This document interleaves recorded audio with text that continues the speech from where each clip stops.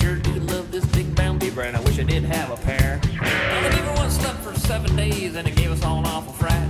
So I tickled his chin and I gave him a